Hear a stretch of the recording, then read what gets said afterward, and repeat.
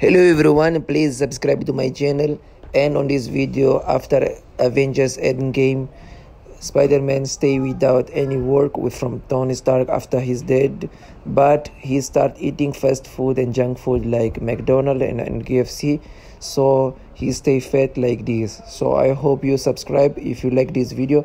And don't forget to hit like and comment what you think.